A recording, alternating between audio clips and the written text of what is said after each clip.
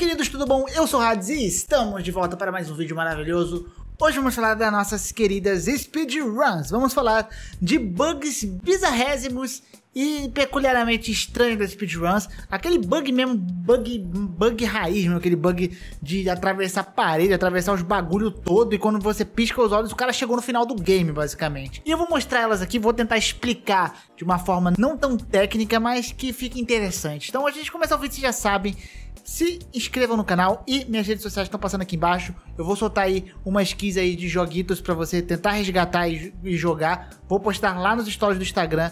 Então me sigam lá no Instagram, me sigam no Twitter também, Pipas, etc. Já sabem o procedimento. Vamos falar das speedruns rapidenhas, dos bugs mais grotescos das speedruns aqui.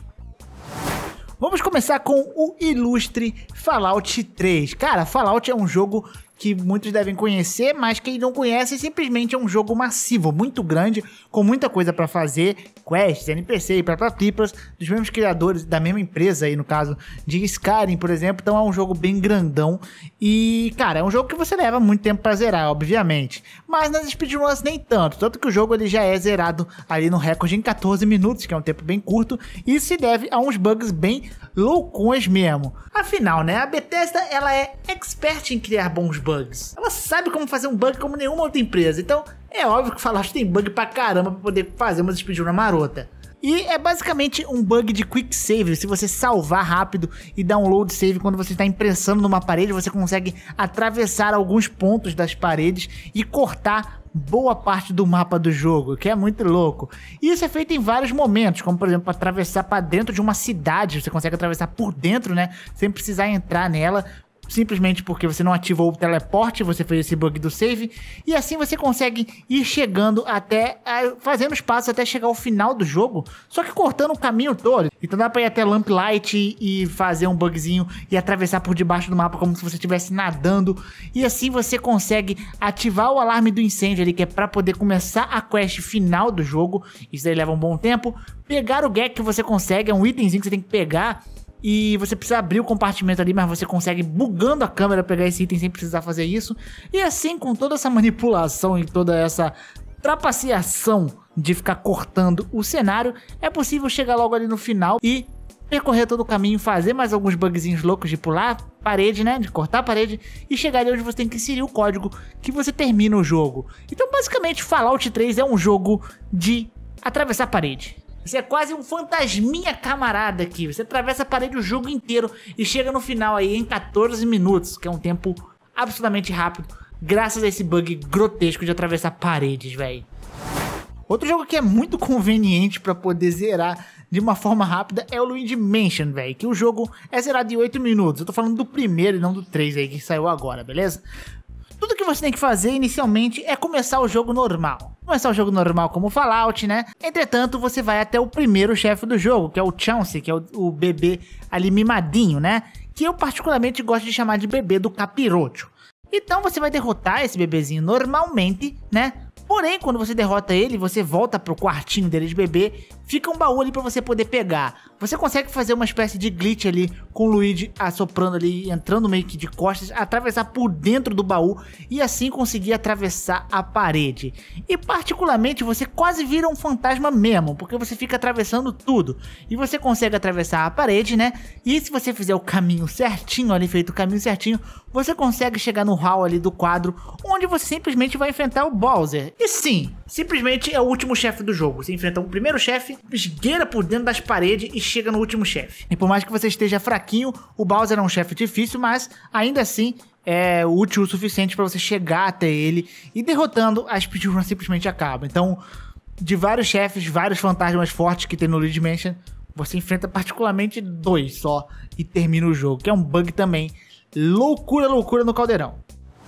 Prince of Persia The Warrior Within. Cara, como eu gostava de Prince of Persia. Pena que a Ubi deu os lugares para Assassin's Creed, porque era uma franquia tão maravilhosa, com uma história tão maravilhosa, que inovou tanto no gênero, mas, enfim, né? Sem chorarões aqui. Prince of Persia The Warrior Within também é zerado em 13 minutos. É um jogo particularmente, tipo, grandinho. Se eu não me engano, tem o quê?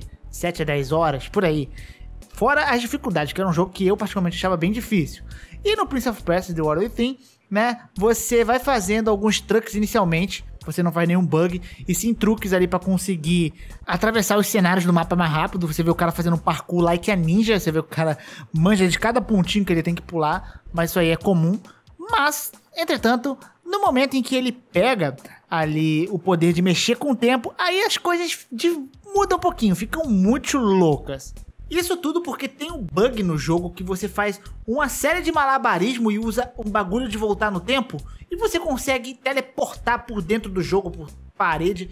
É uma farofada que só. Cara, é muito louco. Tipo assim, você vê o cara fazer uma série de movimentos que parecem meio aleatórios, mas na verdade aqueles movimentos meio que sobrecarregam a memória do jogo. E assim, ao usar a habilidade de poder voltar no tempo, o personagem meio que entra através da parede e teleporta para alguns pontos específicos do game. E vários pontos ali que ele faz esse bug, ele faz várias vezes mesmo, o teleporta para cada ponto.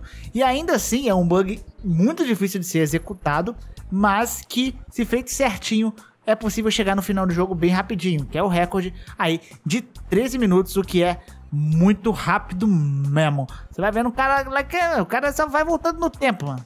O cara só vai lá que é Michael Jackson andando para trás e atravessando, teleportando nos mapas até chegar no final. Ainda faz o final verdadeiro, né? Até chegar no final ali verdadeiro do jogo e terminar o jogo nesse tempo absurdamente sinistro também. Eu acho genial esse cara. Esses caras são, são muito ninja, né? Também temos a clássica speedrun de Mario 64. Por que não, né? Porque ela tem várias categorias e uma delas é você não pegar nenhuma estrela, que também tem que ter bug para isso. É, no Mario 64, acho que a maioria deve conhecer, mas para você chegar no chefe final, você precisa coletar estrelas. E as estrelas você coleta entrando nos quadros fazendo as fases, né? E aí você vai e enfrenta o Bowser duas vezes. Você tem que pegar as duas chaves ali para poder zerar o jogo. Mas esse bug ali, ele tá na categoria de zero saída, que é chamado, que é simplesmente você não pegar nenhuma estrela. Tudo que você precisa fazer é bugar o Mario na escada e apertar os botões do controle de uma forma meio que precisa, que vai fazer o Mario meio que saltar para trás, atravessando coisa, atravessando porta e conseguindo só usar ali, só acessar as fases em que você precisa lutar com Bowser. Então, basicamente, você só vai fazer as fases que tem que lutar com Bowser, as fases necessárias para terminar o jogo, que é de pegar as chaves. E acaba. E sim, aí derrotando o Bowser, você conseguindo fazer essas duas fases, né? Derrotando o Bowser duas vezes, já vai ativar o final do game. E tudo isso é feito aí nos recordes maravilhosos de 6 minutinhos, o que é maravilhoso de se ver. Muito bugado. Jogos 3D tendem a ser muito bugados, muito bem bugados mesmo. Temos aqui também Dark Souls 1, o jogo que é zerado em 20 minutos. Isso porque dá para você pular uma série gigante de chefe. Dark Souls tem toda uma trajetória que você precisa fazer, né? Como tocar os sinos e viajar para Anolondo. E lá você precisa, né, pegar o Lord Vessel, que é um item que você vai ter que usar as almas dos Lords. Então você vai ter que enfrentar quatro chefes poderosos aí e você vai ter que ir em mapas, mapas diferentes. Isso leva um bom tempo. Mas e se tivesse um bug que você não precisasse enfrentar esses lords, você pudesse pular a maioria dos mapas e dos chefes? Seria bom, né? Pois é.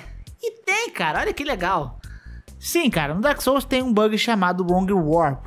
Esse bug simplesmente consiste em você usar a fogueira e na hora que você estiver usando a fogueira e teleportar, você vai sair do game rapidamente durante a tela de load e voltar. Isso vai fazer o jogo confundir algumas fogueiras do jogo, né? Visto que as fogueiras são usadas para poder teleportar entre áreas, mas tem áreas que compartilham a mesma fogueira no, no código do jogo. São duas fogueiras diferentes na mesma área, então você consegue meio que teleportar entre essas fogueiras. E basicamente a rota do cara é ir até o Smug Warren, até Ano Londo, enfrentar esse chefe aí, e aí ele vai conseguir o Lord Vessel Porém, ele não vai precisar pegar alma de Lorde nenhum, fazer vários mapas, não, mano. Ele vai usar ali na frente mesmo o Wrong Warp, vai como se estivesse voltando pra fogueira, vai fechar o jogo e abrir, ele vai estar do outro lado da porta que ele precisava abrir usando esses itens. Daí é só felicidade, o cara usou o Wrong Warp, ele vai direto pro chefe final. Então, o cara poupou um número de chefes, um número de áreas, de mapas absurdo apenas fazendo esse teleporte maluco aí. E assim o jogo é zerado em 20 minutos. Esse bug é meio bizarrésimo, né? Porque você precisa sair e voltar do jogo rápido. Então existem algumas categorias em que ele é estritamente banido.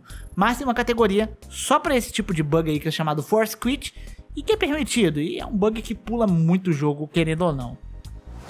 E guys, só duas menções honrosas aqui que nós temos, porque são bugs meio grotescos, assim, que são bugs de você fazer uma série de movimentos aleatórios e você ser teleportado pro final do jogo. Isso porque ocorre um overload, um bug na memória que faz o jogo confundir e simplesmente chamar o final. E existem dois jogos que atualmente são famosos por acontecer isso. O primeiro é o Zelda Ocarina of Time, que recentemente foi descoberto esse bug aí, que até rolou discussões nas speedruns aí, e que o jogo ele é zerado muito rápido, simplesmente fazendo uma série de movimentos aleatórios com o Link, e aí você consegue chamar a tela de final do jogo.